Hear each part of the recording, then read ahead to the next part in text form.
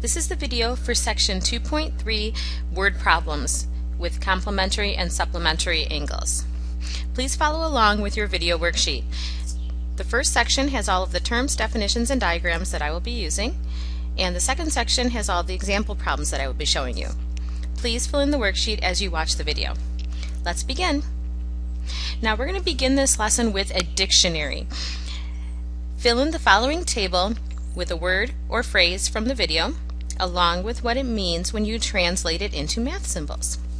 So what we're going to be doing here is we're going to be having some word problems and what we're going to be doing is word by word translating the word you see into math symbols so that we can solve it using algebra. So the first and one of the most common things that we're going to be seeing is the word is. Whenever you see the word is in one of these problems, you're going to substitute an equal sign.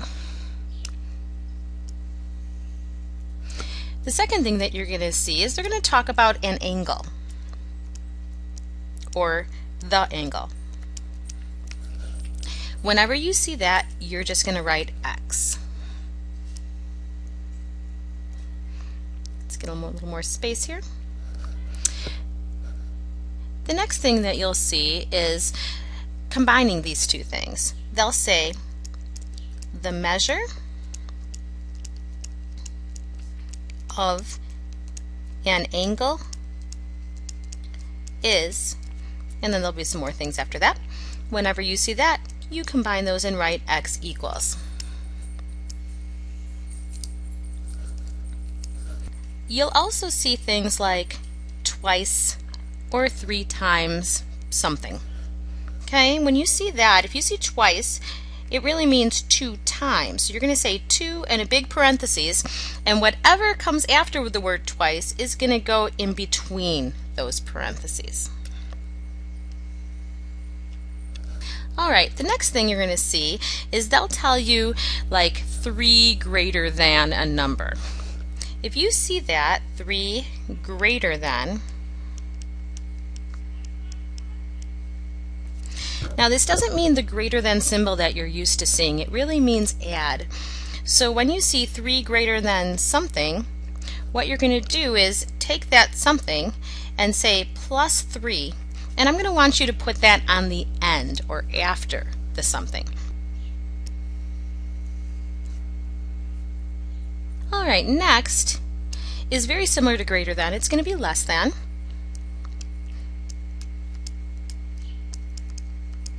So 4 less than something. And again, this is not the less than symbol that you're used to seeing. It really means subtract. So 4 less than that something is that something minus 4. Now, with these two last things that we did, the 4 less than and the 3 greater than, it's really important that you make sure you put it after. So write the number at the end. So the 3 or the 4 goes at the very end. All right, the next thing that we're going to see is the complement.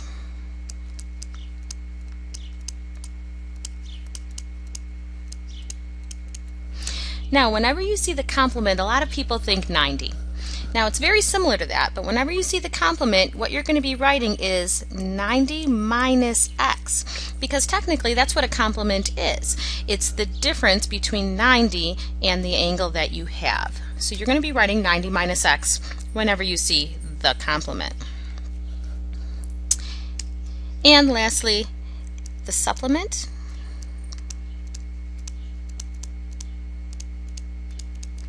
And very similar to the complement, when you see the supplement, you're going to be writing 180 minus x because the supplement of an angle really is the difference between 180 and that angle. Now feel free to use this dictionary as we go through the next problems and what I'm going to be doing is I'm going to be color coding and kind of going back to this dictionary and translating word by word and then we'll be solving the algebra problem. All right, here's our first example. Number one, the measure of an angle is 14 degrees less than the measure of its complement. Find the measures of the two angles. Alright, so we're going to take this phrase by phrase. The first thing I'm going to translate is the measure of an angle is. Whenever we see that, we're just going to write x equals. The next thing I'm going to look at is the 14 degrees less than. So 14 degrees less than. So what I'm going to do there is I'm going to say blank minus 14 because the less than really does mean subtract and the 14 does need to go at the end. Now whatever I see after this is going to be going in that blank. So it says the measure of its complement. So complement, remember, was 90 minus x. So that will be filling the blank. All right, there's our algebra problem all set up, ready to go. Now, we really don't need those parentheses in this case, so I'm going to rewrite this problem saying x equals 90 minus x minus 14. The next thing I'm going to do to solve this problem is going to combine my two like terms here, and I have x equals 76 minus x. And then to solve for x, I'm going to add x to both sides. And I get 2x equals 76. Divide both sides by 2. And x equals 38 degrees. Now, a lot of people think they're done at this point, but you're really not because the last sentence here says find the measures of the two angles. And that's the important thing. They want two angles here. So the first angle that you just found, 38 degrees, is one of my two angles. And then I'm going to look back in the sentences for the words complement or supplement. If I see the word complement, like I do in this problem, I'm going to find my second angle by taking 90 minus the angle I just found, 38. If I see the word supplement, I'm going to find my second angle by going 180 minus the angle I just found. So in this case, it does say complement. So the other angle is found by going 90 minus 38, which is 52 degrees. So the two angles they're asking for are 38 degrees and 52 degrees. Okay, here's our second example problem. The measure of an angle is 6 degrees more than twice the measure of its supplement. Find the measures of the two angles. Now we start the second one the same way we started the first one. It says the measure of an angle is. Whenever we see that, we write x equals. Then we see 6 degrees more than. More than again means add, so I'm going to say blank plus 6, because remember more than and less than need to be written at the end. Next thing is the word twice. Now, after the more than or less than, whatever we see after that, we're going to put in the blank. So twice we'll go here, two parentheses, and then we see the measure of its supplement. And supplement inside that parentheses is 180 minus x. Find the two angles. So there's our equation. The first thing I'm going to do is distribute this 2 inside the parentheses, and that gives me x equals 360 minus 2x and then plus 6. Then I collect my like terms right here and I get x equals 366 minus 2x. Then we add 2x to both sides and we get 3x equals 366. Divide by 3 and x equals 122 degrees. And again, just like the other one, we're not done yet. We need to keep reading, and it says find the measures of the two angles. And we only have one angle so far. So our first angle is 122 degrees. And then we look for the word complement or the word supplement. In this case, we do see the word supplement. So to find my second angle, I subtract 180 minus 122, and I get 58 degrees for my other angle. So the two angles they're looking for are 122 degrees and 58 degrees. Here's our third example. The measure of the supplement of an angle is 20 degrees less than 4 times the measure of the angle. Find the measures of the two angles. Now this one's a little bit different. We start with the measure of the supplement of an angle is. So since we talk about the supplement, we're going to say 180 minus x, and then the is again is equals. Then the next thing we see is 20 degrees less than. So I say 20 degrees less than is blank minus 20. And to fill that blank, I keep reading, and it says 4 times the measure of the angle. So that fills the blank. 4 times the measure of the angle, which is just x.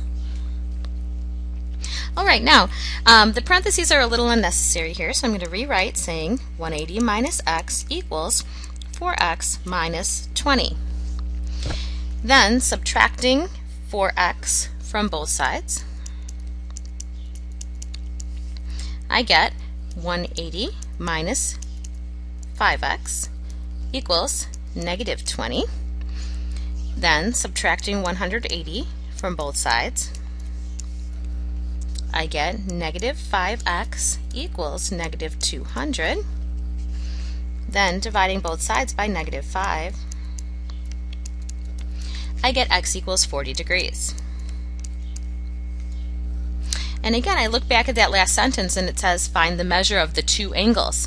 So my first angle is 40 degrees. And to find the second one, I look for the word complement or the word supplement. And we see the word supplement in this problem. So to find the second angle, I take 180 minus our 40 degrees. And that gives me 140 degrees. So the two angles we're asking for here are 40 degrees and 140 degrees. All right, our last example problem here, number four, says the supplement of an angle is 12 more than 3 times the complement. Find the angle, the complement, and the supplement. Now this one here asks for three angles, so we'll keep that in mind when we get close to the end of the problem. Alright, so this beginning says the supplement of an angle is. So just like the last problem, we're going to start with 180 minus x because it says supplement, and then is means equal. Then I see 12 more than. So that's blank plus 12. Then it says 3 times, so that fills the blank, 3 parentheses, the complement. So the complement fills the blank, which is 90 minus x. And then we're going to distribute here the 3 into this parentheses and get rid of the unnecessary parentheses on the left-hand side. And that gives us 180 minus x equals 270 minus 3x plus 12. Then, collecting our like terms over here on the right, I get 180 minus x equals 282 minus 3x. Then we add 3x to both sides. That gives us 180 plus 2x equals 282. Then we subtract 180 from both sides. That gives us 2x equals 102. Dividing by 2, that gives us x equals 51 degrees. Now, this problem says find the angle, the complement, and the supplement. So the angle that we're looking for is going to be the 51 degrees that we just found. The complement is going to be 90 minus 51, which gives us 39 degrees. And the supplement is 180 minus 51 degrees, which is 129 degrees. This concludes the video on word problems on complementary and supplementary angles. Thanks for watching.